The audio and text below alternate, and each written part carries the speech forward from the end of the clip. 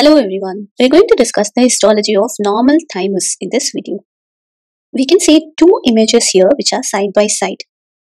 This image represents a thymus of an infant or a child. We can see here that there are lobules over here which are darkly stained and fat tissue is significantly lesser. But when we see the image over here, we can see that most of the tissue most of the lobules or the follicles are replaced by fat tissue. This image here represents the adult thymus. So this is what happens in a thymic tissue. It is most active in the early stages of childhood and adolescence and then when transforming into an adult, the thymus starts involuting and slowly gets replaced by fatty tissue. When we zoom in, and we can see in higher power that there are two distinct areas in each lobule. The outer area which is darkly stained is known as the cortex and the inner area which is fairly lightly stained compared to the outer area is known as the medulla. The cortex com is composed of predominantly T cells. We know that thymus is a site for T cell maturation. The outer part of cortex is mostly composed of naive T cells which are yet to be matured. Also, we can see that they are tightly packed with lymphocytes and we can see that there are some more other types of cells over here which are nothing but epithelial cells. However, in the medulla, it is fairly loosely packed and the lymphocytes are here but we can also see more number of epithelial cells. Apart from these cells, we can also see that there's a huge cluster here.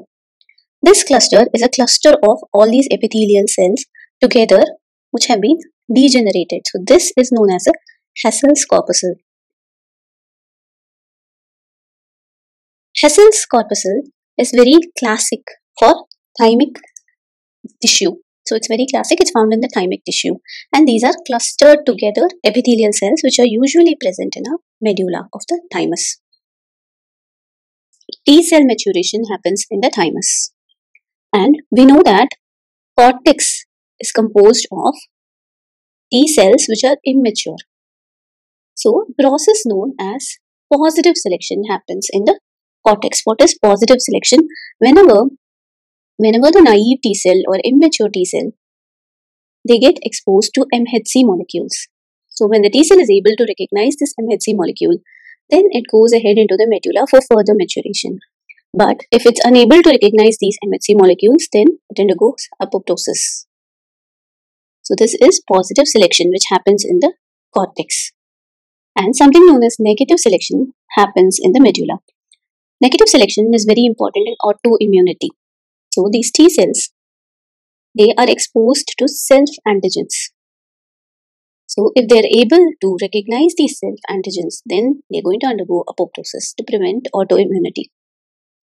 But if they're not recognizing these self-antigens, they will go into the circulation and be a part of the immune system. So this is the basic regulation which happens in the thymus, in the cortex as well as in the medulla. So here we can see that there are epithelial cells and lymphoid cells. As we know, the cortical lymphoid cells were immature. These cortical lymphoid cells will be positive for TDT and medullary lymphoid cells will be negative for TDT. Also, epithelial cells and Hassall's corpuscles are going to be positive for cytokeratins.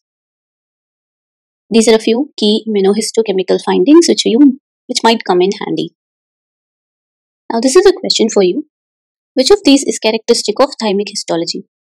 Do comment your options, do comment your answers and why do you think it is the answer below.